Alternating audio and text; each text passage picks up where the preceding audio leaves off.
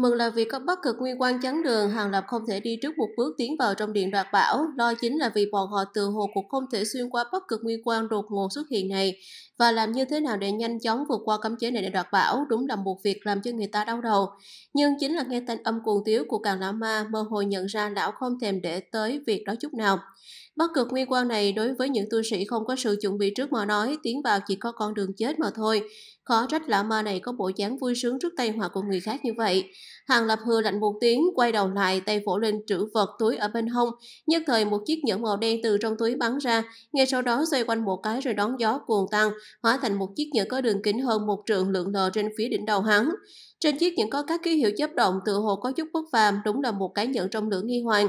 Hàng lập thông dong hướng chiếc nhẫn lớn điểm chỉ một cái, nhất thời chiếc nhẫn đón đầu hắn chụp xuống, đồng thời trên tay hắn bắn nhanh ra một đạo pháp quyết, bắn phía trên cùi mặt nhẫn, tiếp theo một cái quan tráo màu đen hiện ra, đem hàng lập bao trùm bảo hộ vào phía bên trong. Vừa thấy cảnh này, tiếng cuồng tiếu của kiền lão ma lập tức đình chỉ. Hơn nữa các yêu vật và các tu sĩ khác đồng thời ngỡ ngơ, trên mặt hiện ra thần sắc khó có thể tin được.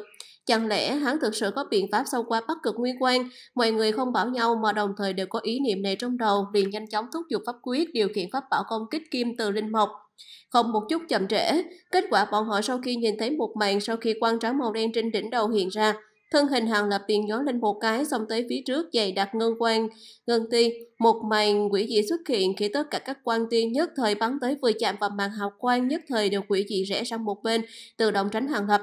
Lần này tất cả mọi người đều trợn mắt hốc mồm nhìn nhau. Mà thân hình hàng lập nhanh chóng bị bắt cực nguyên quan che phủ vào trong, ẩn vào trong đó không thấy bóng dáng. Mau, đồng thủ nhanh hơn một chút, không thể để cho tiểu tử này thực sự đoạt bảo vật trước. Ngân sĩ dạ xoa từ khiếp sợ tỉnh táo lại trong miệng quát lên một tiếng chói tay gương mặt trở nên dữ tợn. Cho dù động tác có mau hơn nữa thì có tác dụng gì khi mà không chống đỡ được bắc cực nguyên quan kia, các thiên hào khuôn mặt xanh mét nói. bắc cực nguyên quan có thể làm khó đối với người khác nhưng muốn ngăn cản lão phu cũng chỉ là việc nằm mơ. Kiền đỏ ma hư lạnh một tiếng thanh âm vắt ra vẻ cực kỳ băng hàng, lập tức ngũ tử đồng tâm ma biến thành bạc sắc cửa ảnh đột nhiên và người một cái không thèm để ý tới kim từ linh mục còn lại mà trực tiếp hướng cửa điện bắn nhanh mà đi. Đại trưởng lão, ngươi... Đám người các thiên hào cả kinh không khỏi kinh hô một tiếng, kết quả bạch sắc cự ảnh khi vượt tiến vào phạm vi từ trường của kim từ linh mộc nhất thời một cổ cự lực lập tức ép xuống, lập tức đem bạch ảnh lôi xuống mặt đất làm cho nửa bước khó đi. Hay, một tiếng rống to như sấm từ trong bạch sắc nhỏ ảnh truyền ra, lập tức bạch ảnh quang mang thu lại một đạo huyết ảnh giống như vô hình từ trong bóng trắng bắn ra. Trong nháy mắt đã bay xa là hơn 10 trượng, sau đó lại từ cực uh, cự lực lôi xuống mặt đất. Nhưng thân hình huyết ảnh này khẽ rung lên, hướng đại điện bước đi từng bước giống như một người bình thường nhàn nhã đi bộ. Một màn này xảy ra, tự nhiên làm cho người ta ở đó cũng là một đám yêu thú, một trận kinh ngạc. Chuyện cho tới lúc này thì cũng chỉ có trông cậy và thần thông của khuê đạo hữu nhanh đồng thủ đi. Chúng ta không thể chờ đợi thêm nữa. Mấy thứ kia quyết không thể để rơi vào tay người khác. Ngân sĩ già xoa không hề trì hoãn, tay liền vung lên, thần sắc rất là âm trầm, truyền âm nói với sú phụ. Sư phụ cũng rất là ngưng trọng gật đầu đáp, lập tức toàn thân bạch quang chớp động, thân hình bỗng nhiên là hướng mặt đất lăn vòng một cái, sau đó hào quang trở nên chói mắt, một con cự quy có hai màu trắng đen xen lẫn với nhau liền hiện ra, trực tiếp hướng về phía trước bò đi. Yêu vật đã hiện nguyên hình yêu thể của nó, đồng thời là sư cầm thú lúc ngân sĩ dạ xoa đều phi thân lên phía trên mai của nó rồi ngồi xuống. Lúc này cự quy cũng đồng dạng tiến vào trong phạm vi từ trường của kim tự linh mộc. Kết quả sư cầm thú của viên cân sĩ già xoa thân hình nhoáng lên một cái, ở trên lưng cự quy đau khổ chống đỡ cự lực cả thân thể không thể nhúc nhích, nhưng cự quy lúc này toàn thân lại xuất hiện hắc bạch lưỡng sắc quang mang kỳ lạ. Không ngừng chấp động từ từ bò về phía trước mà không dừng lại giống như là không chịu một chút ảnh hưởng nào của cự lực. Tuy nhiên cũng không phải là không có chút ảnh hưởng nào, chẳng qua là khi mà Tam Yêu đồng thời tiến vào phạm vi ảnh hưởng của cự lực. Đột nhiên ở xung quanh Tam Yêu chợt hiện ra một đám kim sắc phù văn trong rất quỷ dị, Phù văn này giống như một cái bàn tay vô hình, bay nhanh tới Tam Yêu rồi nhập vào trong cơ thể của chúng.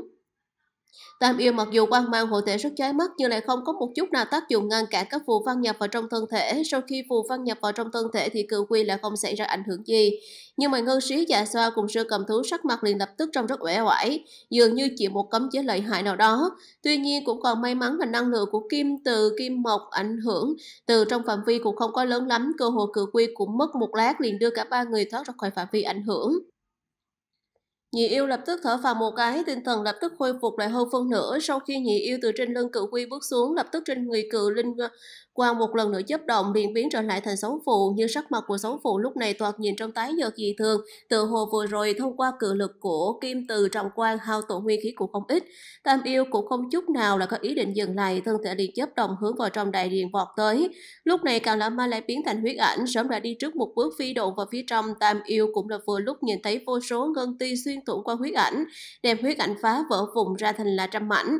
Nhưng mà quanh thân huyết ảnh đồng thời bộc phát ra các tia huyết quang chói mắt, thân thân thể đang bị tổn hại không ngờ lại được tu bổ không ngừng. Dưới tình hình như vậy, huyết ảnh cho càng lão ma biến thành cũng không có chút đình trệ. Trong nháy mắt chập vào trong là bắt cực nguyên quan không thấy tông tích. Nhìn thấy cảnh này tam yêu cũng không chút trì hoãn giống như đã sớm thông qua thương lượng đối sách. Sư cầm thú thân hình nhỏ lên một cái đứng ở phía trước, đồng thời một như cái chậu máu há to ra. Từ trong miệng vô thanh vô tức phun ra một cổ kim sắc âm ba. Những nơi nào nó đi qua, tất cả ngân ti trong nháy mắt đều bị đứt thành từng đoạn. Theo sát phía sau ngân sĩ dạ xoa sử dụng đôi cánh như là dùng sức một cái. Một cổ thanh sắc kình phong từ trong cảnh tuôn ra phối hợp với là kim sắc âm ba lập tức đem các đoàn ngân ti bị đứt gãy thổi bay đi. Vì thế, dưới hai loại thần thông không ngừng càng quét, một khoảng đất trống rút cuộc cùng hiện ra. Tam yêu nhân cơ hội này đều xông vào trong, sau đó chậm rãi hướng vào sâu trong đại điện mà đi. Còn lại ngoài cung ngô điện, Lâm Ngân Bình, Ngọc Dung cũng trông rất khó coi, vẻ mặt này chỉ hiện lên trong nháy mắt, sau đó lại tiếp tục công phá các cây đại thụ còn lại. Hiện tại cũng chỉ còn có bọn nàng cùng với nhóm người các thiên hào. Hàm răng nàng cắn chặt đôi mày nhíu lại, quay đầu hướng thanh niên họ tự nói. Từ huynh chúng ta, thánh nữ không cần nóng lòng, chúng ta chủ yếu là vì tên tiểu tử họ hàng kia, nay bảo vật trong điện, không lấy được cũng không sao cả. Huống hồ nhiều người như vậy cũng đi vào, bảo vật kia nào có thể dễ dàng mà độc chiếm được. Chúng ta trước tiên phải hủy diệt những cây đại thụ này đã, sau đó canh giữ ở ngoài cửa điện là được.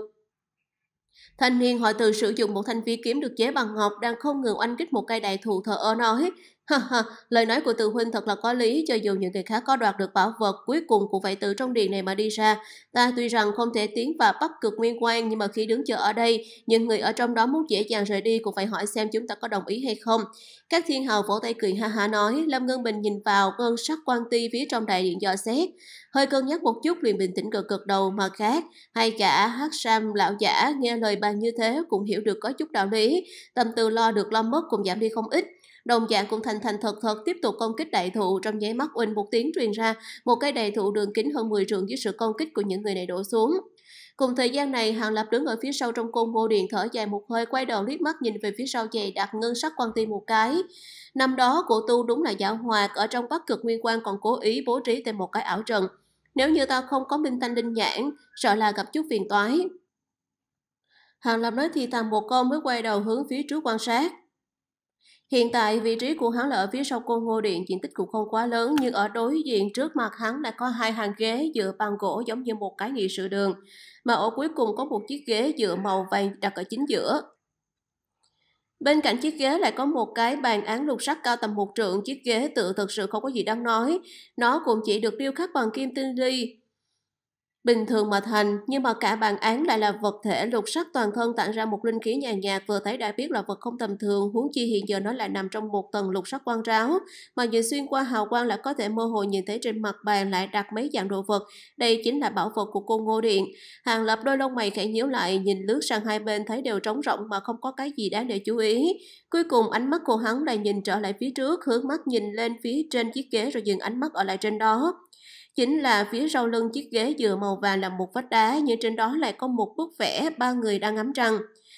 Một tăng, một đào, một nho, ba bóng người cơ hồ đứng trong một rừng trúc đều là ngóng lên phần trăng tròn bằng một bộ dáng như có một tâm sự nào đó, bởi vì bức họa đồ này chỉ lớn khoảng là một thước. Bức ảnh có chút ố vàng, nét vẽ cũng có chút hơi mờ nhưng mà không có liên quan cho nên ngay từ đầu Hàng Lập cũng không có chú ý tới nó. Nhưng hiện tại hai mắt cả hắn là nheo lại nhìn chầm chầm vào họa đồ không có nhúc nhích, tinh thần trở nên tập trung.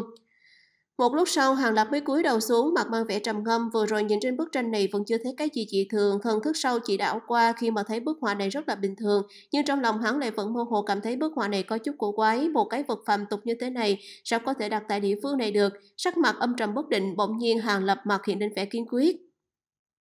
Đơn trưởng vung lên, một đạo kiếm quang dày hơn một trượng bắn nhanh mà ra, ngay sau đó liền hung hăng chém lên trên bức tranh, kiếm quang lập tức bạo liệt mở ra, dưới kim mang chớp động, bức tam nhân vòng nguyệt đồ bị chém nát thành nhiều mảnh từ trên không trung rơi xuống. Nhìn thấy cảnh này, Hàng Lập có chút ngẩn ra, chẳng lẽ thực sự ta có chút đa tâm rồi, Hàng Lập trong lòng có chút buồn bực. Tuy nhiên, nếu đã muốn làm như vậy, hắn tự nhiên cũng không có hối hận gì. Đập tức Hàng Lập tay áo đơn giản phất lên một cái, một cái hỏa cầu bằng nắm tay từ trong người hiện ra, hít vào một hơi, dùng thần thức mang hỏa cầu này bắn ra, chuẩn bị đem mạnh các mảnh vụn của bức tranh đốt sạch sẽ. Nhưng ngay tại lúc này trong đầu của Hàng Lập truyền tới một tiếng hét kinh hãi của Ngân Nguyệt vang lên. Chủ nhân, cẩn thận! Hàng Lập cả kinh, tuy rằng thần thức không có cảm ứng được gì thường, nhưng thân thể lập tức không do dự trở nên mơ hồ. Trong phút chốc biến ảo thành bảy tám cái hư ảnh giống nhau như đúc hiện ra, nhất thời không phân biệt được đâu là chân thân của hắn. Mà cơ hồ cùng lúc đó, phía sau Hàng Lập hơn một trường tại các tảng đá nằm phía dưới đất bạo liệt mở ra. Ở trong đó vùng linh quang chấp chấp động, vài đạo hư ảnh đã bị kim ngân thứ từ phía sau lưng xuyên thủng mà ra. Chỉ còn một đạo nhân ảnh trên người lại truyền đến một tiếng ken giòn tan. Kim ngân thứ như bị một cái gì cản lại, bị bắn ngược trở lại, chính là một cái pháp bảo kim ngân sắc kim toa. Đạo nhân ảnh kia cũng bị một kích vừa rồi đánh cho bị thương, nhưng ngay lập tức thân hình nhỏ lên một cái, ngay tại chỗ lập tức biến mất. Ngay sau đó xuất hiện một chỗ khác cách đó là 6-7 trượng. Rồi quay đầu lại nhìn lộ ra khuôn mặt của Hàng Lập đang tỏ ra kinh sợ cực kỳ. Vừa rồi nếu không phải hắn sớm đã trước một bước đem kim thuận xuất ra chắn ở phía sau, nếu không đã bị thương cũng không nhẹ. Bình thường Hàng Lập không thể hiện tình cảm ra vẻ mặt nhưng mà giờ phút này hắn lộ ra vẻ sợ hãi không ngừng. Trong lòng lửa giận phúc tăng lúc này một tay chụp tới một cái mặt tiểu cương thuẫn trên mặt thuẫn quang. Lóng lánh ngay lập tức hiện ra trong tay, mặt khác cánh tay còn lại vung lên. Hơn 10 thanh tiểu kiếm liền hóa thành một mảng kiếm quang dày đặc rồi lóe lên hướng phía đối diện đá vùng bắn nhanh tới. Kết quả một tiếng cười của nữ tử khẽ truyền ra, lập tức mang à, thứ mang chợt lóe một cái kim ngân sắc kim toa cự vật từ dưới đất phóng lên, tất cả kiếm quang sau khi chém vào vật đó. Nhưng lại quỷ dị lóe lên rồi biến mất. Thấy tình cảnh này, trong lòng của hàng lập lửa dần nhất thời thu điểm lại hơn phân nữa. Vội ngưng thần ngừng lại. Cái kia kim ngân sắc cự vật chính là một cái cự toa có mấy trường trên bề mặt hiện lên kim quang chấp động. Không biết được luyện chế từ tài liệu nào mà như hình dáng xem ra vật ấy cùng vừa rồi. Bảo vật đánh lén hắn giống nhau như đúc chính là nó lớn hơn rất nhiều lần mà thôi. Đạo hữu thật đúng là gì thừa cảnh giác, một kích như thế mà vẫn không đắc thủ. Chợt, con biết đạo hữu tu luyện không pháp gì, có thể nói cho tiểu mùi biết một phần được không? Tại nơi mấy cái kim ngân sắc tiểu toa vừa công kích nhất thời cái đại toa vừa hiện ra xoay quanh một cái vụt bay về bên đó. Đồng thời bên trong đại toa truyền đến một âm thanh nữ tự tỏ ra kinh ngạc. Hàng lập một bên sắc mặt tỏ ra bình tĩnh rồi triệu hồi những thanh phi kiếm, một bên tâm niệm nhanh như điện. Đột nhiên toàn thân linh quang chợt lóe hóa thành một đạo thanh hồng hướng thẳng án bàn bắn tới. Ở đây đã có những tu sĩ khác đến, hắn tự nhiên tính toán. Trước tiên đem bảo vật đoạt vào trong tay nếu bạn bất đắc dĩ mới dây dưa ở đây, nhưng mà tu sĩ có thể thông qua bất cực nguyên quan vào đây sẽ càng lúc càng nhiều, hy vọng bảo vật tới tay cũng sẽ càng ngày càng phi thường khó khăn. Tuy nhiên khi Hàng Lập lao tới, đồng thời trong lòng có chút khó hiểu thanh âm của nữ tử này rất xa lạ, tuyệt đối không phải cùng với nhóm người ở ngoài điện, mà đám yêu vật mà mình nhìn thấy chẳng lẽ nhanh như vậy đã có những tu sĩ khác tiến vào cung hô sơn? Còn chạy tới trước cả đám người, càng lão ma thông qua bắc cực nguyên quan hết thảy suy nghĩ này chỉ là trong đầu của hàng lập chợt lóe lên mà thôi. Ngay tại khi âm thanh của nữ tử tỏ ra kinh ngạc vừa thốt xong, hắn đã biến thành độ quan xoẹt qua hơn 20 trượng, mắt thấy đã sắp tới phía trước bàn án rồi.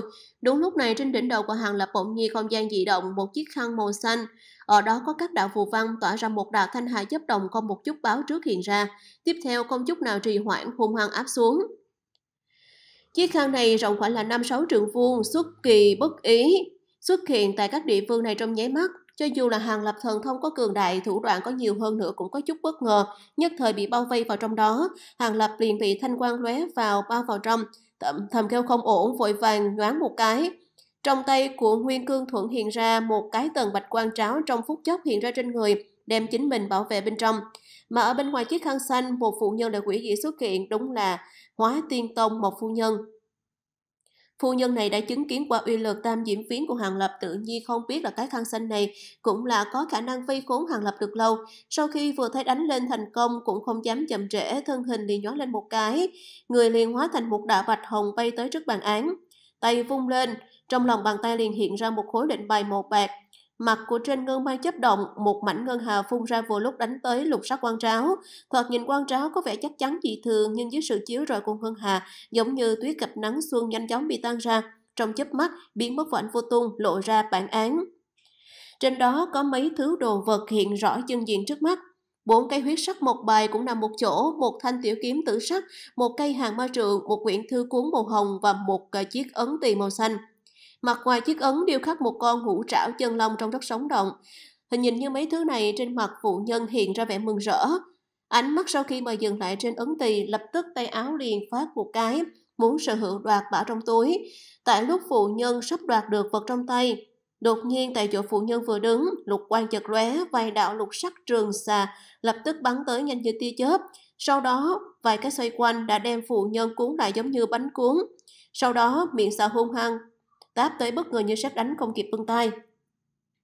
Phanh phanh phanh vài tiếng vang lên cũng không biết trên người của phụ nhân mang loại thông tin pháp khí gì. Không thấy thi pháp mà một tầng bạch sắc quan tráo liền tự động hiện ra làm cho thanh xà ngược lại bị bắn trở lại, rồi hiện ra nguyên hình chính là mấy cái tông tục đằng mạng. Lần này một phu nhân cũng giống như hàng lập lúc trước vừa sợ vừa giận. Nàng tuyệt đối không nghĩ lại có là hoàng tước đi theo chim sẻ. Trước đây vây khốn hoàng lập, nàng chủ động dùng pháp khí mở ra phía trước vòng quan tráo của bản án để đánh đánh lén. Chẳng phải đó là hành động lúc trước của nàng đó sao? Này người đánh lén rút cuộc không biết là người phương nào, làm sao có thể từ mặt sau của Nhật Nguyệt Toa mà mình không có một chút phát hiện nào. Phải biết rằng nàng lẻn tới nơi này, thần không biết quỷ không hay, tất cả đều lựa vào ngân bài mà lúc trước cô Ngô Tam Lão lưu lại.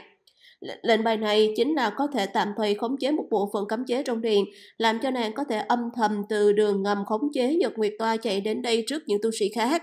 Lúc này một tiếng khạc khạc quỷ dị, khó nghe truyền ra, tiếp theo một cái nhân ảnh màu lục cao lớn từ phụ cận đường ngầm vô thanh vô tức xuất hiện. Một đôi lục màu lạnh như băng, lạnh lùng đảo qua một phụ nhân. Trong mắt xuất hiện hàng ý của phu nhân không tự chủ được, trong lòng cảm thấy rùng mình một cái, nhưng sau khi ngưng thần nhìn kỹ rõ nhân ảnh màu lục sắc mặt của nàng lại là đại biến rồi là thất thanh kêu lên. Một khôi nhưng giới sao còn có loài yêu vật này tồn tại. Lục ảnh tuy rằng nhìn là có đủ đầu và tay chân, bộ dáng có chút giống con người nhưng vô luận là bộ mặt hay thân thể tất cả đều được bao trùm bởi là vô khối các tấm vỏ cây, nhìn giống như một cái cây biết đi. Một khôi nghe thấy phụ nhân kêu lên kinh ngạc như vậy, trong mắt hiện lên một tia châm biếm, căn bản không hề để ý tới phụ nhân, ngược lại thân hình lập tức chớp động hóa thành một đoàn lục quang hướng về phía trước bàn án lao tới. Nó cũng muốn đem tất cả những bảo vật này đều thu vào trong túi. Một phụ nhân trong lòng trầm xuống, nàng hiện tại cho dù có thể thoát khốn mà ra nhưng căn bản không kịp ngăn cản yêu vật này. Nhưng một màn không thể tin được xuất hiện, một khôi biến thành quan đoàn chưa kịp tới gần bản án thì trước bàn những mảnh vụn của bức họa làm nhân vọng nguyệt đồ mà trước đó hàng là vừa chém vụn đột nhiên hóa thành là nhiều điểm linh quan chấp động đồng thời phun ra bao cổ quan hà màu vàng trắng và hồng phát ra. Quan hà đón đầu đánh tới nhưng lại đem lục quan giống như một quả bóng cao su đập vào tường rồi nhanh chóng nảy ra vài chục trường. Kết quả sau khi màn lục quan chợt tắt hiện ra thân hình một khôi bị ngã lăn, thân thể không ngừng run rẩy, lúc này yêu vật to lớn nhưng lại giống như không thể tự động điều khiển được thân thể. Liên tiếp ở tại chỗ xoay đi xoay lại mấy lần mới miễn cưỡng có thể đứng vững được, rồi ngẩng đầu nhìn về phía quan hà, đôi mắt bộ lục lộ ra vẻ tràn đầy sợ hãi không thể nói lên lời. Mà cổ quan hà tại phía trước bàn án sau một hồi xoay quanh, hòa thành ba đạo nhân ảnh mơ hồ cao khoảng là một thứ phiêu phù xuất hiện, nhìn kỹ thì thấy rõ ràng là ba người trong tam nhân vòng nguyệt đồ đó là một đạo, một nho, một tăng. Lúc này ba người với sáu đạo ánh mắt đờ đẫn đều đang cắt gao nhìn chằm chằm vào một khôi ở phía xa, giống như xem một người chết. Cô ngô tam lão, một khôi trong miệng kêu to một tiếng cực kỳ hoảng sợ, lập tức cả người linh quan chợt lóe không một chút nghĩ ngợi hóa thành một đạo lục hồng, hướng phía bắc cực nguyên quang bắn nhanh mà đi. Ngay cả đầu cũng không dám quay lại, nhưng lúc này ban nhân ảnh lại không một chút tiếng động đồng thời vung tay hướng tiểu kiếm. Hàng ma trượng và thư cuốn ở trên bàn nhanh chóng điểm chỉ một cái. Ba dạng bảo vật liền phát ra những tiếng động vu vu rồi đồng thời dừng lên. Tiếp theo thì rung lên một cái liền hóa thành ba đạo màu tím, vàng và hồng bắn đi, lập tức lóe lên một cái rồi biến mất. Nhưng mà sau đó tất cả các biểu hiện ngay phía sau một khôi lúc này đang sắp nhào vào bên trong ngân sắc quan ti dày đặn đồng thời tụ lại với nhau cùng hung hăng đánh ra một kích. Một khôi căn bản không thể tránh né, ầm một tiếng kinh thiên động địa vang lên, tam sắc quang mang quào liệt mở ra, nhảy mắt đem lục quang bao phủ vào trong đó rồi tán phát ra những tia ánh sáng trông giống như những tia nắng gắt, làm cho không người nào dám nhìn thẳng. Nhưng mà sau khi tia sáng tắt đi, tại chỗ trừ bỏ còn huyền phù ba kiện bảo vật ngoài ra tất cả đều trống không chẳng còn một vật nào khác ở đó. Một kích này của ba kiện bảo vật thế nhưng lại dễ dàng đem thân thể và nguyên thần của một khôi mà thoạt nhìn cực kỳ đáng sợ đồng loạt trống rỗng tiêu thất. Cùng lúc đó, trên bàn án trong bốn cái huyết sắc một bài thì các một bài nằm ở phía dưới cùng đột nhiên tự bốc cháy. Trong nháy mắt biến thành một đống tro tàn mà ba kiện bảo vật sau khi tiêu diệt yêu vật xong lập tức bay phục quay về. Sau một cái xoay, liền là thành thật thật thật rơi trở lại đúng vị trí trên bàn án mà trên mặt của ba đạo nhân ảnh nhất thời mơ hồ rồi tiêu tán biến mất, nhưng lại thủy chung từ đầu đến cuối không có nói qua một câu nào. Ba đạo nhân ảnh của cô Ngô Tam Lão ở trong bức vẽ kia cũng chỉ là một tia thần niệm mà thôi, cũng chỉ vì phòng ngừa bảo vật rơi vào trong tay của yêu tà mà cố ý trong cô Ngô Điện bố trí một cấm chế cuối cùng.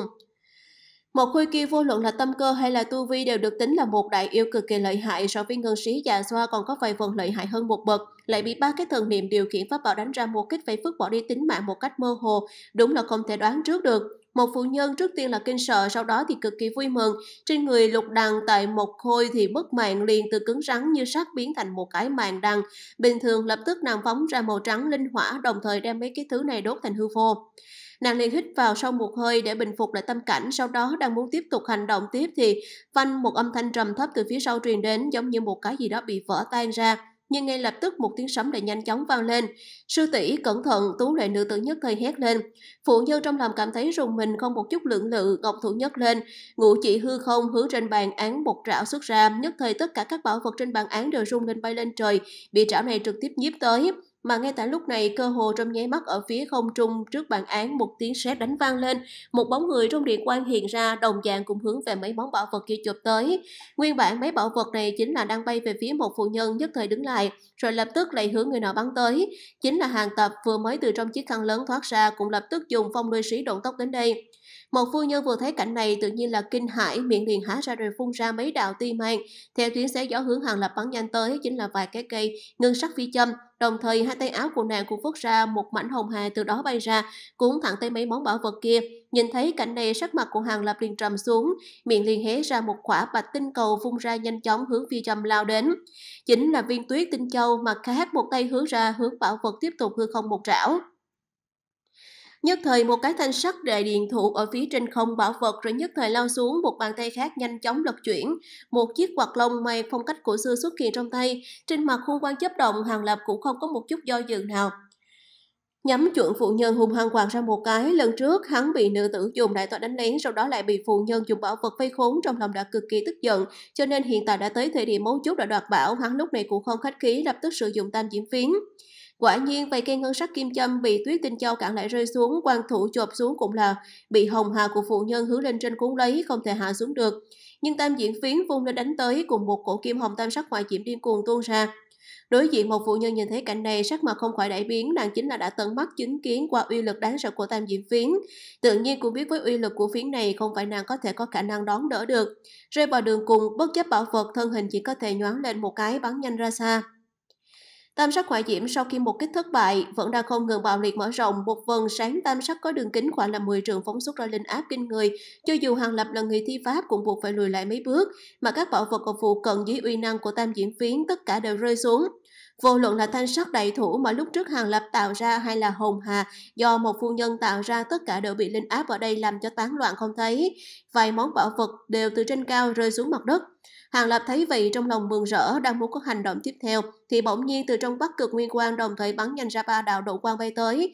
Đó là một đạo huyết ảnh, một đoàn ngân mang và một đoàn tử vụ. Ba loại độn quang từ hồ đều tinh thông một loại độn thuật quỷ dị nào đó. Lập tức tại chỗ biến mất hoặc là trống rộng tại chỗ biến mất hoặc là hóa thành một cổ thanh phong.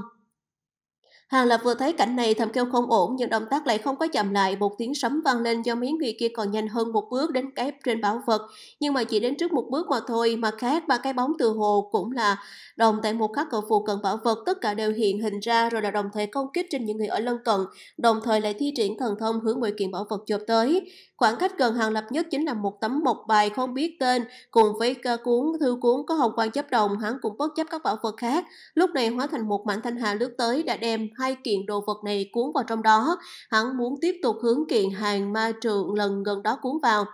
Thì trên đỉnh đầu xuất hiện hơn 10 đạo huyết quang trụ cùng với là cổ kim sắc âm ba cùng cuộc đánh úp tới. Rơi vào cảnh này, hàng lập đang hóa thành thanh hà cũng chỉ có thể tạm thời thối lui, tạm thời tránh đi công kích này mà hàng ma trụ nhất thời bị huyết ảnh từ phía sau lao tới mang đi, còn đoàn tử vụ cũng ngân mang căn bản không để ý bảo vật khác mà lại đem hai cái một bài rơi ở dưới đất nhanh chóng bao lại, bộ dáng như sợ người khác cướp đoạt mất. Hàng Lập thấy vậy có chút ngẩn ra mà cái huyết ảnh sau khi mà lóe lên hạ xuống còn ngồi lại tiếp tục hướng kiện bảo vật lục sắc ngọc tỳ chộp tới. Dừng tay, hóa lông tỳ này người không thể lấy. Một thanh âm nữ tử mang vẻ khẩn trương truyền đến, lập tức là một cái thước ngọc màu trắng ngà đột nhiên hiện ra trên đỉnh đầu của huyết ảnh không một chút lưu tình nện xuống. Thước này thật sự là cổ quái, chân chính đánh xuống mà trên thước lại đột nhiên truyền ra một tiếng niệm Phật bằng phạm âm. Vô số đóa nhũ và sắc liên hoa giống như một thiếu nữ tán hoa ở phụ cận trên một phạm vi không trung lớn. Hiện ra, mỗi đóa có lớn có nhỏ khác nhau, trên đóa liên hoa mỗi cánh đều tỏa ra thức sắc Phật quan chẳng những huyết ảnh mà ngay cả mặt khác ngân đoàn cùng với đoàn tử vụ đều bị bao vào trong phạm vi của liên hoa. Nhưng trái với Hàng Lập bởi vì lúc trước hắn nhanh chóng chạy ra vừa vặn thoát ra khỏi uy năng của thước này, đứng ngoài chứng kiến. Kết quả làm cho Hàng Lập trợn mắt hốc mồm, tất cả bạch liên tại một tiếng quát của nữ tử kia đồng thời bạo liệt mở ra, lập tức hóa thành một đóa thức sắc cửa liên với những cánh hoa đang từ từ nở rộ mở ra. Vô số Phật văn từ mỗi một cánh liên hoa mạnh mẽ phun ra, tiếng niệm Phật bằng phạm âm lại như là tiếng sấm vang vọng toàn bộ đại điện. Bị nhốt ở trong không gian của Liên Hoa, huyết ảnh cùng ngân sắc quan đoàn và yêu ảnh trong đoàn tử vụ đừng nói đi nhặt được những bảo vật khác, không biết vì sao mà ngay cả thân hình cũng đều là không thể đứng vững, lúc này thì ngã trái, lúc thì ngã phải giống như một người uống rượu say. Lúc trước ở trước mặt Hàng Lập là một kỳ cảnh khiến người ta phải kinh ngạc. Miếng của kim cương ráo kia ẩn sâu trong cơ thể nhưng lại xuất hiện cùng với cự liên, một trướng một co cảm ứng lẫn nhau. Hàng Lập cả kinh pháp lực trong cơ thể vội vàng ngưng tụ trong nháy mắt đem dị trạng của bảo vật này áp chế xuống, sau đó thật lâu mới nhìn thoáng qua thải liên phía xa. Không nói hai lời, ngân sĩ sau lưng vỗ nhẹ người liền, tại hư không tiêu thất. Ngay sau đó, hắn liền xuất hiện ở phụ cận bắc cực nguyên quan hóa thành một đạo thanh hồng bay vào trong đó. Với Hàng Lập mà nói, nếu bảo vật đã tới tay hai kiện hiện nhiên, cất bước rời xa cục diện hỗn loạn này mới là hành động sáng suốt. Ngọc thứ kia đột nhiên xuất hiện hiện lộ uy lực thật sự kinh người mặc dù phương diện thần thông thiên là khốn địch biến ảo nhưng mà không cần hỏi uy lực cũng là công chế tam chiếm phiến. Có 10 phần cũng là phòng chế phẩm của một kiện thông thiên linh bá một kiện nào đó. Hắn mặc dù đối với việc chủ nhân thước này mới vừa rồi đánh lén bản thân trong lòng đầy hận nhưng cũng sẽ không lựa chọn sau này cùng đối phương cứng đối cứng. Dù sao vô luận kiền lão ma hay là ngân sĩ già xoa nọ đều cùng hắn không hòa thuận lắm. Và nhất bị mấy người kia vây công, hắn cho dù thần thông có lớn như thế nào cũng không thể không chết ở nơi này. Ở trên kim ngân cự toa nữ tử tú lệ hóa tiên tông nọ, hai tay kết quyết, thúc giục chui bạch sắc ngọc thước này vẻ mặt cố gắng hết sức cho nên mặc dù thấy hàng lập thoáng chút rút lui, Cụ không rảnh mà để ý, chỉ cần Hàng Lập cô không lấy đi hóa long ấn nọ là tối trọng yếu. Nàng này thì cũng chỉ có thể coi như không thấy, lúc này phụ nhân bởi vì uy thế của Hàng Lập nên nhất thời phải bay ra ngoài.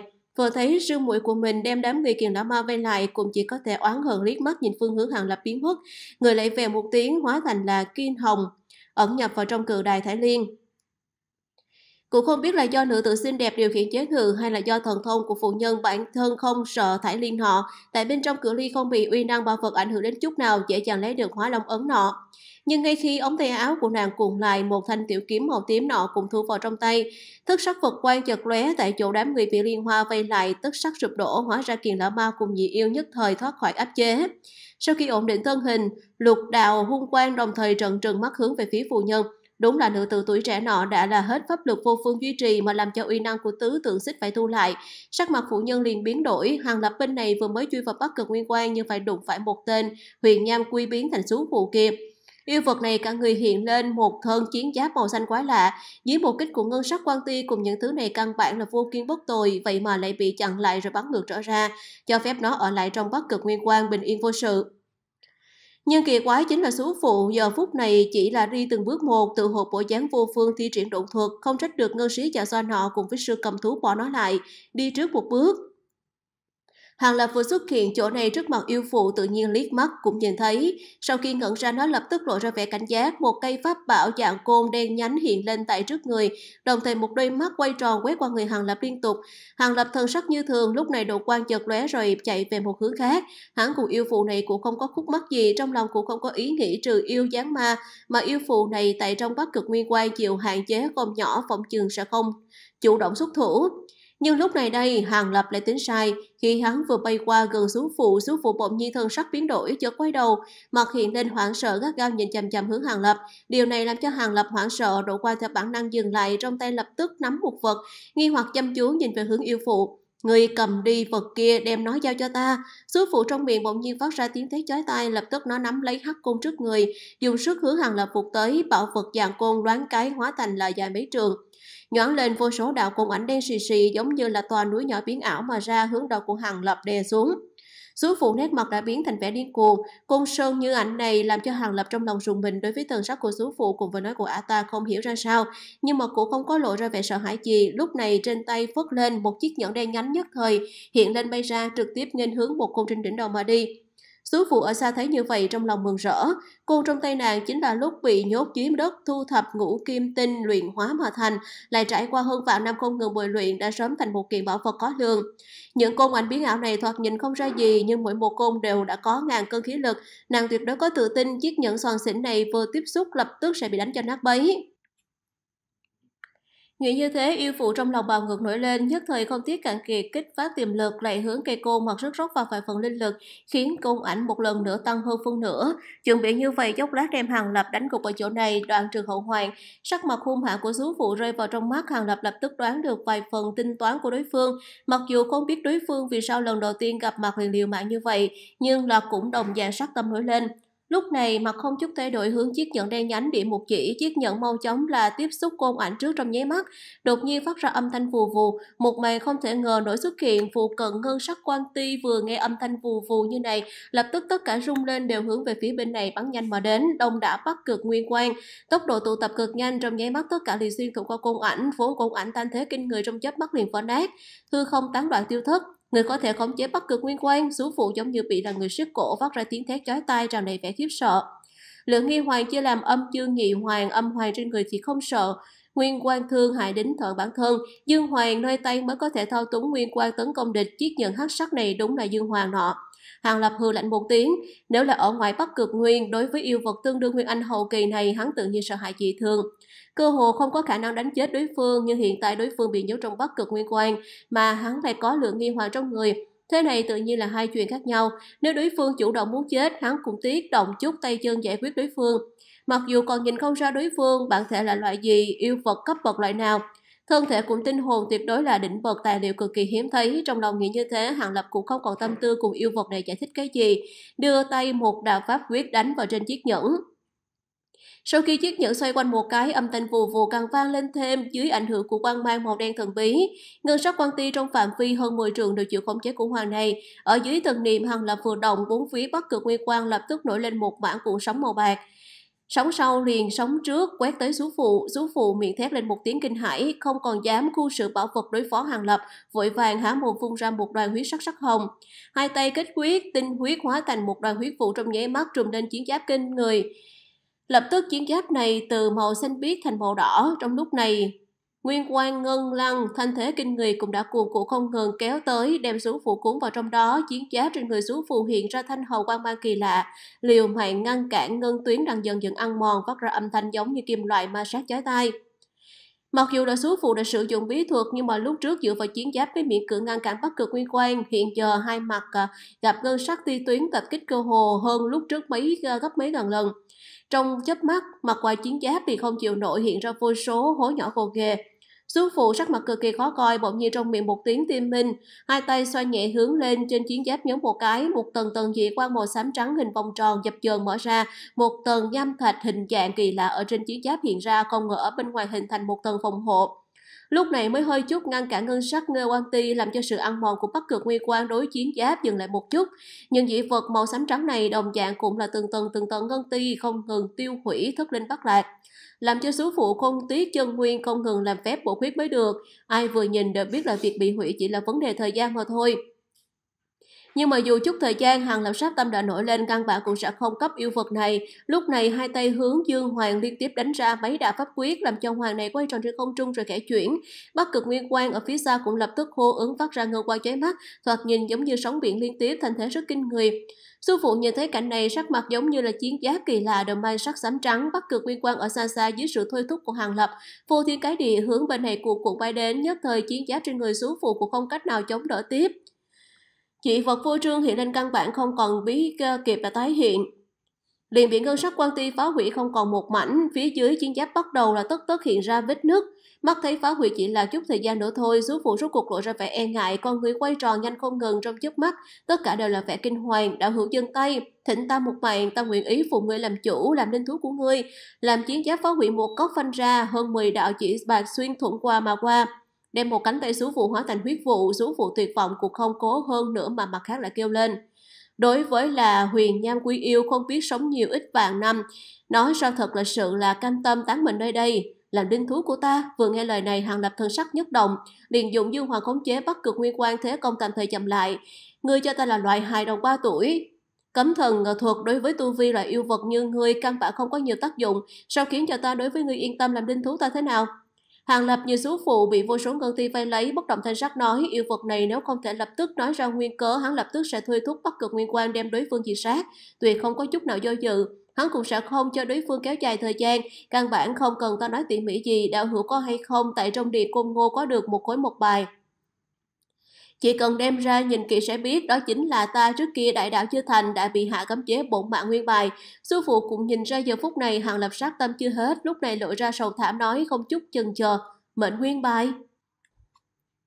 Hàng Lập lộ ra vẻ ngoài ý muốn, lúc có được chiếc một bài màu huyết hồng nọ, hắn cũng không có thời gian để ý nhìn kỹ, nhưng hình như bộ dáng quả thật là khác lạ so với bảo vật bình thường, bây giờ nghe xuống phụ phụ nói như thế cũng có thêm một chút tin tưởng. Lúc này cũng không có nói lời nào, hướng túi rượu vật giữa eo lưng vỗ nhẹ, nhất thời một đạo huyết may từ trong tay bắn ra, bay quanh một vòng sau đó rơi vào trong tay, đúng là khối một bài nọ. Lam ba trong mắt của Hàng Lập chấp động, lúc này mới chính thức nhìn rõ ràng hình dáng vật ấy. Cỡ lòng bàn tay bao phủ bên ngoài là một tầng huyết quang, Chính diện hiện ra là một đoàn sương mù màu xám trắng, ở trong huyết quang có hơi chút nhu động lại dường như là một loài vật nhỏ bé. Hàng lập thần thức bay nhanh hướng về phía bên kia đảo qua, mắt khẽ mở, nét mặt lộ ra một tia vui mừng, một tay kết quyết, dương tay đánh ra một đạo thanh mơ oan, nhất thời trên một bài ánh sáng chợt lóe, tiểu đoàn sương mù màu xám trắng nọ tiêu tán ngay lập tức, ở trong đó lại hiện ra một cái linh quy đồ án hắc bạch lưỡng sắc, Huyện Nham Quy, người bạn thể là loại linh thú này không trách được là phòng ngự kinh người như thế, tại trong bắc cực nguyên quan cũng có thể duy trì lâu như vậy. Hàng Lập nhìn dáng vào một bài hồi lâu, đồng tử Lâm Quan chợt tắt, ngẩng đầu nhàn nhạt nói, nếu đã biết như vậy, thiếp thân của không có hương ngôn lừa gạt. Bổn mạng nguyên bài này là do cô Ngô Tam Lão tự mình luyện chế năm đó, hiện tại nhân giới cũng không có người nào là có thể luyện chế định giai mệnh bài như thế. Chỉ cần mệnh bài này nơi tay, sanh tử của ta liền ở trong tay chủ nhân lệnh bài. Sư phụ ở trong bất cực nguyên quan vẫn không nhúc nhích giải thích, sợ rằng chẳng may là khiến cho Hàng Lập hiểu lầm. Nói thì không sai, nhưng bộ mạng nguyên bài này cũng phải là nhìn xem rơi vào trong tay người nào. Nếu là tu sĩ dưới Nguyên Anh Kỳ muốn luyện hóa bài này khiến cho bằng hữu cúi đầu nghe lệnh sợ tu vi không đủ. Bị cấm chế trên lệnh bài cắn trả thì sao? Hàng Lập bình tĩnh nói. Như thế nào, đạo hữu đã có được mệnh bài này vẫn còn không yên lòng đối với thiếp thân sao?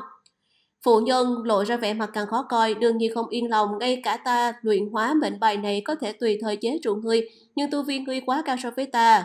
Lúc ngươi liều mạng cũng có thể thoát khỏi khống chế, quay giáo phản kích, hàng một cũng không có hướng thú lo lắng đề phòng sao ta phải lưu ngươi. Hàng làm sắc mặt bỗng nhiên trầm xuống, đồng thời trên đầu của Dương Hoàng một hồi vu vu phát ra, ngân ti trong phút chốc lại bắt đầu rụt rịch nổi lên, đem xuống phụ bao vây quanh lại. Đạo hữu nếu vẫn chưa yên tâm, ta nguyện ý đem non nửa nguyên thần vào trên bộ mệnh bài, nếu là thật có lòng bất thiện, đạo hữu sẽ lập tức phát cảnh giác. Số phụ trong lòng cả kinh, miệng không lựa lời vội vàng lớn tiếng nói, à, phân biệt uh, phân liệt nguyên thần, phương pháp này trái lại có thể, người đã nói như vậy, vậy đem nguyên thần phân liệt khai đi. Hàng Lập bất động thanh sắc ánh mắt chớp động nói, nghe được Hàng Lập nói như thế, số phụ cùng nổi lên do dự, nhưng đang xem xét lại thì thấy ánh mắt của Hàng Lập lại lần nữa âm lệ xuống, yêu phụ này rung mình không hề tiếp tục trì hoãn hơn, Đơn thủ vòng sau não vỗ nhẹ, phốc một tiếng trên thiên linh cái hắc bạch quang mang kỳ lại giật lóe, một cái nguyên anh tại đỉnh đầu xuống phụ hiện lên, nguyên anh này há mồm phun ra một đoàn lục quang lớn cỡ nắm tay, trên mặt của xuống phụ hiện ra vẻ thống khổ, lục quang trên một hồi rung lên, phân liệt hóa thành hai luồng nhỏ hơn, trong đó có một đoàn lượng vòng lập tức quay về phía bị mũi của nguyên anh, một đoàn khác thì sau khi chậm một chút, chậm rãi hướng hàng lập bay tới, hàng lập thấy vậy không khách khí đem mổ mạng bài đoán lên, hướng lục quang bay tới, một chùm huyết quang phun ra nháy mắt liền đem lục quan kéo vào trong một bài. Trên một bài huyết quan lại phóng đại mơ hồ truyền đến tiếng kêu thanh minh. Hàng lập cúi đầu nhìn chăm chú vật ấy phát hiện trên mặt của Linh Quy hắc bạch. Rõ ràng là hơn rất nhiều mà lại ngửa đầu vẫy đuôi giống như một vật sống lại.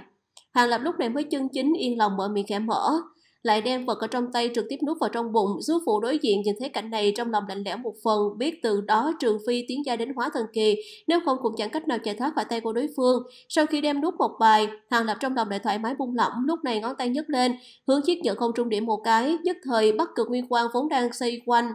Sú phụ hướng khắp nơi tán đi, Hàng Lập thân hình nhoáng lên trong nháy mắt. Người thiện lên trước mặt sú phụ, sau khi đánh giá yêu phụ không trọn vẹn một tay này bộ dáng chật vật, nhớ mày, ngón tay lơ đạn hướng vòng bảo hộ trước người búng ra. Nhất thời ô quang rực sáng, âm hoàng biến thành một màn hào quang đem xuống phụ cùng gắn vào trong đó đem cơn tiên còn sót lại bốn phía ngăn cách tại bên ngoài. Yên tâm, ta cũng không có ý vĩnh viễn trói buộc người, ta chỉ cần là tạo hóa ngã xuống hoặc là có thể phi tăng linh giới. Sẽ trả lại tự do cho ngươi, ta không có ý tứ để người làm linh thú truyền thừa gia tộc cùng tông môn. Sau khi Hàng Lập vừa đem một miếng dương hoàng khác thu lại, nhẹ nhàng với cô nói, đạo hữu nói thế thật sao? Sư phụ vừa nghe lời này, nguyên bản ánh mắt buồn bã rung lên, bật thốt lên hỏi, có tin hay không, đạo hữu sau này tự nhiên biết, như chúng ta nhân loại thọ quy so với tiên địa linh thú các ngươi mà nói tương đối ngắn. Căn bản không đáng để nhắc tới, chỉ cần ngươi ở trong lúc này toàn tâm xuất lực vì ta, ta tự sẽ không bạc đãi ngươi. Huống hồ linh thú của ta thực sự không phải chỉ có mình ngươi, không lâu ngươi sẽ xuất phát. Làm cho linh túi của ta có lẽ cũng không phải là chuyện xấu, Hàng Lập không có để tới phân phần giữa đối với yêu phụ này, không có sự cách xưng hô, ngược lại tự nhiên cười nói, ta không tin thì phải làm thế nào đây, nhưng mà chỉ mong đạo hữu. Nói giữ lời, ta để cho ngươi sử dụng một chút, thật cũng không có gì. Sú phụ kỳ khổ một tiếng, tốt lắm, ta là người như thế nào, đạo hữu sau này tiếp xúc nhiều hơn, tự nhiên hiểu rõ. Người trước ăn vài thứ trong bình nhỏ, hồi phục lại pháp lực cùng thương thế. Hàng lập thần sắc nghiêm túc đưa ra tay ném ra một cái bình nhỏ. Hồi phục pháp lực, gì trong bình này chẳng lẽ là Sư phụ tin tưởng tiếp nhận bình nhỏ, đồng thời mở nắp bình ra một cổ linh khí cực kỳ tinh thuần đập vào mặt làm cho nàng không phải thất thanh. Đây là một dọn và niên linh thủy làm cho ngươi hồi phục pháp lực tổn hao, ta còn cần ngươi xuất lực lập tức. Hàng lập hai tay để sau lưng từ từ nói, đa tạ đầu hữu, việc như vậy sư phụ đương nhiên sẽ không cự tuyệt. Sau khi trong miệng một tiếng cảm ơn, lập tức đem một giọt linh thủy trong bình hút vào trong miệng. Linh thủy ở trong cơ thể Vận sau khi mời chuyển một chút biến thành một luồng linh lực cực kỳ tinh thuần chỉ trong chốc lát liền tràn đầy các nơi trên thân thể. Sứ phụ mừng rỡ, một tay kích quyết, toàn thân nổi lên hát bạch lượng sắc linh quay sau đó quay đầu nhìn chăm chú của chỗ cục tay, trong miệng nói lẩm bẩm, tình hình xuất hiện làm cho hàng lập cả kinh, miệng vết thương của sứ phụ xuất ra hát bạch lượng sắc linh quang giao hội vô tụ vô số cơ thịt ở trong linh quang điên cuồng sinh trưởng trong nháy mắt liền thấy một cánh tay hoàn hảo như ban đầu, bất diệt thân thể, hàng lập lộ vẻ xúc động Yêu thú có thần thông như thế, hắn chỉ có thể gặp qua một lần trên người hóa tiềm thú tại truyện ma cốc mà hiện nhiên số phụ này không biết thần thông so với hỏa tiềm kia mạnh hơn bao nhiêu lần trong mấy cái hô hấp toàn bộ cánh tay liền hoàn toàn dài ra. Điều này làm cho Hàng Lập rất là kinh hoảng, xem ra hắn có thể là hàng phục yêu phụ này thực sự là rất là may mắn. Nếu không phải ở trong quá cực nguyên quan, yêu phụ này chống đỡ nguyên quan pháp lực đã hao tổn rất lớn, chỉ là đại thần thông như thế. Muốn ứng phó cũng không phải là việc dễ dàng. Kỳ thực Hàng Lập cũng không biết số phụ ở chỗ này trước trải là trải qua cấm chế kim từ linh mộc nọ, pháp lực là hao tổn nhiều nếu không có vừa rồi chống đỡ bắt cực nguyên quan này, nếu không chừng còn có thể kiên trì lâu lâu một chút, dù sao yêu này chính là yêu thú cấp 10. Một thân tu vi thâm hậu vẫn còn ở ngoài dự đoán của Hàng Lập, tốt lắm, thật không ngờ là linh dịch vạn. Muốn tự mình khôi phục và pháp lực chỉ sợ phải là hai ba ngày ngồi xuống đã tỏa mới được, số phụ trong miệng chúng cử dừng lại đồng thời huy động cánh tay mới mọc ra, khí sắc tốt hơn nhiều lắm. Hàng mộ hiện tại còn không biết là bằng hữu xương hôi như thế nào, nhưng mà nếu cùng ngân sĩ dạ xoa nọ cùng một chỗ, nói như người nghe thì à, nghe hắn nói một ít chuyện có liên quan tới ta. Hàng Lập ở một bên chậm rãi nói, tiếp thân gọi khuê linh, chuyện tình của là hàng đậu hữu. Thực sự, đúng là con nghe nói một ít nhưng mà cũng chỉ có chuyện liên quan tới phương diện thần thông đạo hữu một chút, số phụ chần chờ trả lời. Chuyện tình có liên quan tới tài hạ, ta sẽ tìm thời gian nói cho khuê đạo hữu. Tu vi thần thông của ngươi nếu không tầm thường, ta mặc dù đã khống chế mệnh bài cũng sẽ thật không nỡ đem ngươi thành là đê giai yêu thú sử dụng. Lúc bình thường ta và ngươi vẫn ngang hàng tương giao là được, hàng lập bỗng nhiên cười khẽ nói. Tiếp thân đã tạ đạo hữu, con biết bằng hữu mới vừa rồi mới phải là xuất thủ tính là chuyện gì. Yêu phụ này nhớ ra Hàng Lập lúc trước nói chuyện mà kiện định một tia ngân trọng, nàng thực sự có chút lo lắng vị này có hay không mời nàng xuất thủ đối phó ngân sĩ dạ xoa còn cùng với là sư cầm thú nọ. Nàng cùng với nhị yêu mặc dù chưa nói tới sinh tử chi giao nhưng dù sao cũng có chút giao tình. Trong chốc lát kiền lão ma tiến vào bắt cực nguyên quan khi việc này xảy ra người phối hợp với ta xuất thủ diệt sát người này. Hàng lập trong mắt hàng quan chợt lóe, trong miệng lại hờ hững nói kiền lão ma, đau hữu nói là vị nguyên anh hậu kỳ này sử dụng ma công. Số phụ trong lòng kẻ buông lỏng cẩn thận nói, không sai, chính lão ma này, ban đầu ta cũng không có dự định xuất thủ ở chỗ này. Dù sao người này cao thủ ma công, một thân đồn thuật lại càng phải là tầm thường. Cho dù có thể thao túng bắt cực nguyên quan, ta lưu lại hắn hy vọng cũng rất là xa vời. Nhưng hiện tại có bằng hữu ở một bên tương trợ tự nhiên là khác nhau rất lớn. Hàng lập cười lạnh nói nếu đạo hữu nói như thế thì ta sẽ toàn lực hiệp trợ đạo hữu. Yêu phụ này trên người bị quản chế cũng là thống quả đáp ứng ngay. Vậy đã làm phiền đạo hữu bất quá thì là chốc nữa xuất thủ. Trước đem Nguyên Anh tạm thời lưu lại ta còn cần hỏi chút chuyện. Đã rõ bất quá xin thứ cho thiếp thân nói thẳng cũng là đạo hữu chiếm cứ địa lợi. Hơn nữa ta xuất thủ tương trợ làm bị thương nặng vì kiền lão ma này là chuyện tình dễ dàng. Nhưng mà phải nhớ thực sự là diệt sát hắn, cơ hội cũng là không lớn. Ta tận mắt xem qua, hắn thi triển ma công có thể là không sợ bắt cực nguyên quan này xuyên thủng thân thể. Nhưng nếu là nhất tâm chạy trối chết bằng ta hai người cũng rất là khó ngăn cản. Sư phụ quay đầu nhìn thoáng qua phương hướng Hàng Lập nói, do dự một chút, cũng là nhắc nhở nói. Đích xác bằng còn hai ờ, người cũng là đơn bạc một chút, nhưng nếu là thêm một tên Nguyên Anh hậu kỳ tu sĩ ở đây, Hàng Lập nét mặt đột nhiên lộ ra mục tiêu quỷ dị. Còn có một tên Nguyên Anh hậu kỳ tu sĩ. Sư phụ nghe nói như thế thì sửng sốt theo bản năng hướng mọi người vừa nhìn, cũng một lúc là không phát hiện ra phụ cận có người nào đó ẩn nấp, lập tức đem ánh mắt một lần nữa rơi vào hư không trên người Hàng Lập vẻ mặt kinh ngạc. Phía sau ngô điện nửa bộ trên không trung có đạo ngân quang, tử vụ và một đạo huyết ảnh đang đuổi theo cự toa quanh coi không dứt. Các loại pháp thuật công kích như là phong ba bảo táp ờ, lên trên toa sau khi mà quang ban kỳ lạ nổi lên lại cản được là toàn bộ công kích. Nhật Nguyệt toa không hổ là một trong tam đại linh toa của nhân giới. Hùng mạnh công kích tới mức này cũng không làm gì được. Phía trong cự toa, một phu nhân dùng toàn bộ tinh thần để mà khống chế linh toa liều mạng trốn tránh phía công kích phía sau. Một bên một bàn tay xinh đẹp nắm tứ tượng xích Sắc mặt trắng bệch, bộ dáng suy yếu rõ ràng, xem ra lúc trước mạnh mẽ vận dụng thông thiên linh bảo tứ tượng xích làm cho pháp lực cơ hồ tiêu hao hết. Kiền lão hữu, nguy thực sự là muốn cùng với lại là hai yêu nghiệt thông đồng làm vậy. Cho người ta bảo hộ bảo vật trong núi nhưng vì an nguy của nhân giới sẽ sửa chữa lại phong ấn núi này. Một phu nhân tu vi còn xa mấy bằng lão ma và nhị yêu, một lần muốn cướp đường mà đoạt uh, chạy tức bị ba người ngăn lại, pháp lực trong cơ thể giảm xuống cực nhanh không phải kinh sợ nói.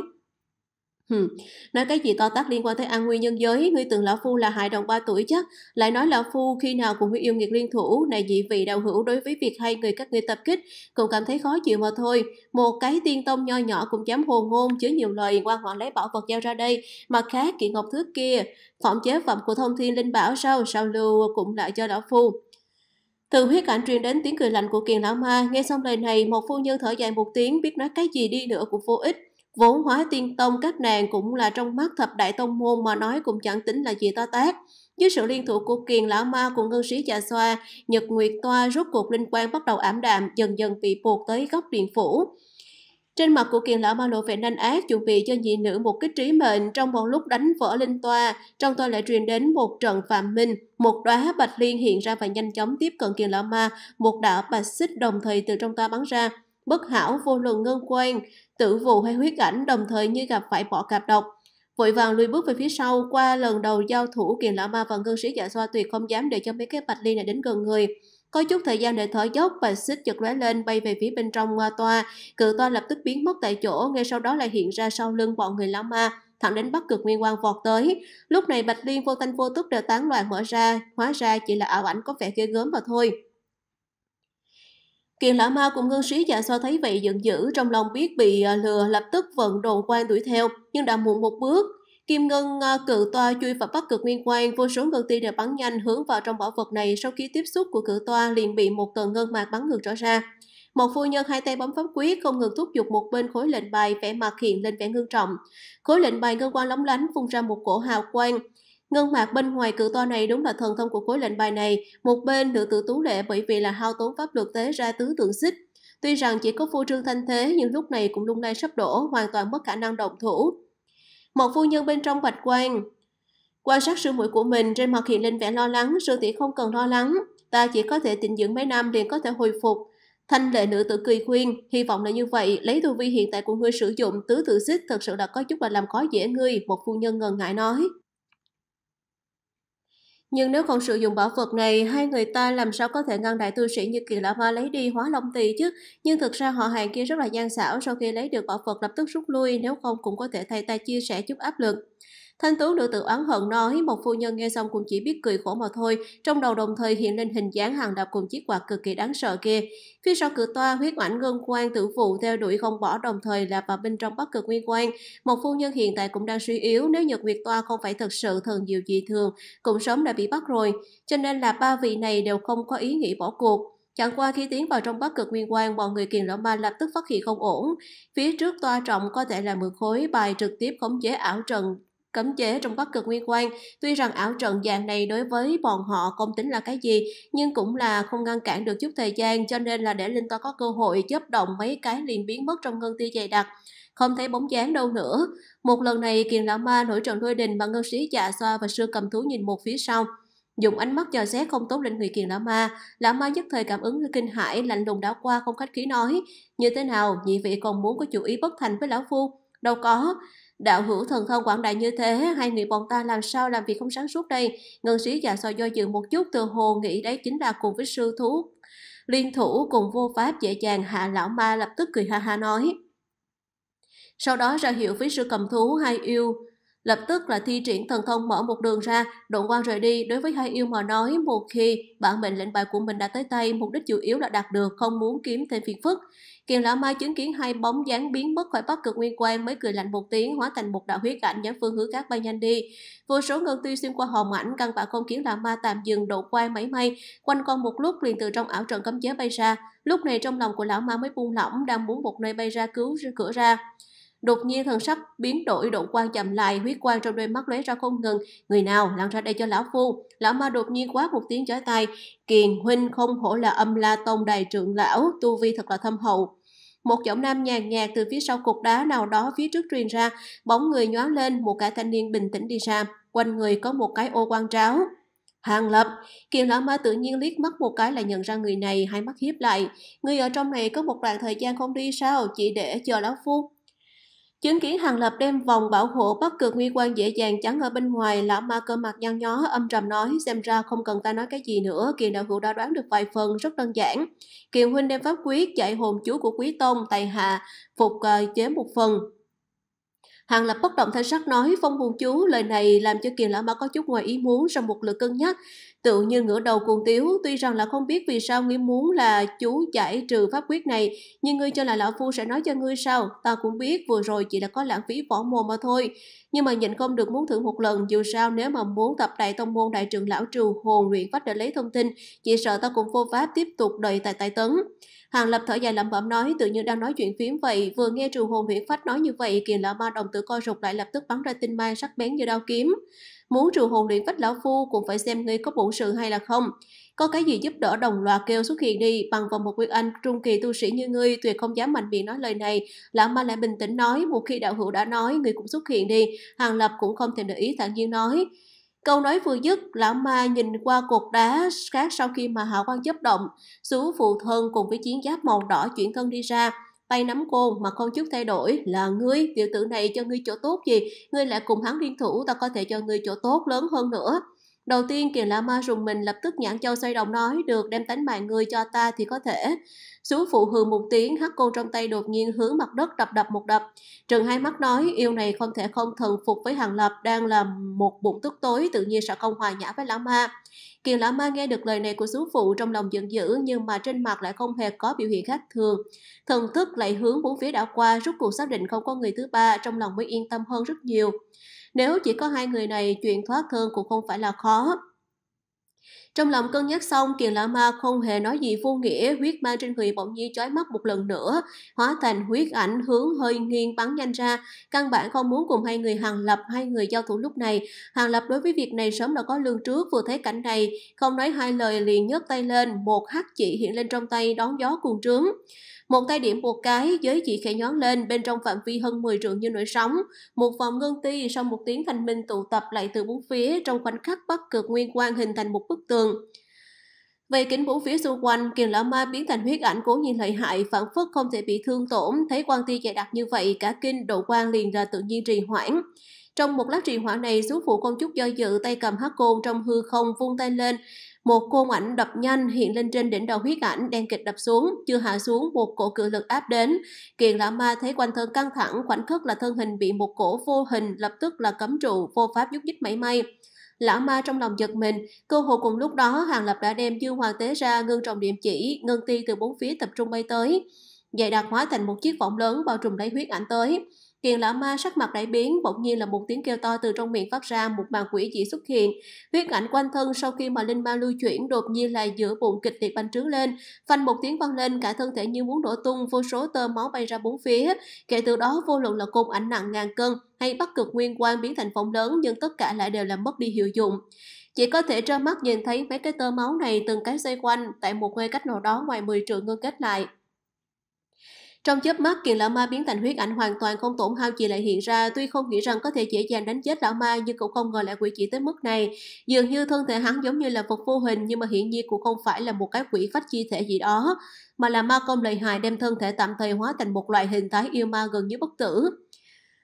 Ma công loại này Hàng Lập trước kia cũng có nghe nói qua một chút, nghe nói thời kỳ thượng cổ không hề thiếu cổ ma có hình thái này tồn tại. Hiện tại chính mắt thấy quả nhiên hơn hẳn với bình thường, Hàng Lập thầm giật mình nhưng mà thế công không chút dừng lại, hé miệng một đoàn hỏa cầu màu tím phun ra, xoay chuyển biến thành là một bánh xe thật lớn phóng thẳng đến huyết ảnh. Một tay bắt quyết thúc giục, bắt cực nguyên quang biến thành cự võng bay theo chụp xuống, tay kia thì dưới tay áo bào rung lên, một đà đạo đại kim hồ trong tiếng sấm đánh ra chợt lóe lướt về phía đối diện đón đọc đánh xuống sứ phụ Khuê Linh cùng với đem là hắc cốt ờ, côn ờ, Pháp Bảo đưa ngang, ngưng trọng hứa huyết ảnh lập tức đánh tới, một mảnh côn ảnh cố tình bao vây lấy là bốn phía huyết ảnh, hóa thành kinh đào hải lãng triều thổi tới. Lại nói tiếp, tại phía trong bắc cực nguyên quan, các loại bảo vật, phi kiếm, phi đao song phương cũng không dám dễ dàng phóng ra. Nếu trong một lúc vô ý, tất có thể là chưa bay đến là chỗ đối phương, trước hết bị bắc cực nguyên quan xuyên thủng đánh nát, tự dưng bị hủy bảo vật. Hàng Lập lúc này không định dùng thanh trúc phong phân kiếm, trực tiếp sử dụng ít tà thần lôi của tự la cực hỏa. Kiều lão ma mắt thấy mình bị vây công kích theo dây dưa không dứt, thanh thế thậm chí còn hơn xa lần trước, trong lòng hung tính đại phát, trên mặt sau khi mà hiện vẻ nanh ác, cắn răng một cái nhưng lại cắn vào đầu lưỡi. Sau đó há mồm phun ra một đoàn huyết ti bị quang mang màu xám bao vây, vừa lúc này hồ quang hồ và đánh xuống. Thần kích xuống lúc này cũng chỉ có thể truyền ra một tiếng ngân trầm thấp sau đó hóa thành một cổ có danh quỷ dị, lượng lỡ bay lên hoàn toàn bị triệt tiêu.